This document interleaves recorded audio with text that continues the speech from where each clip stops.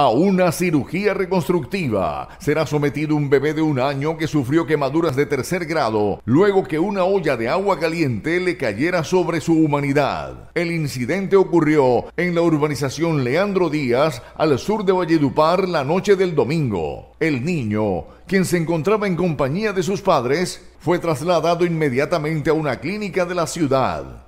El menor presenta heridas en el tórax, en el brazo y en la pierna izquierda y luego de ser valorado por los galenos de Turdo y el pediatra, fue remitido al cirujano plástico.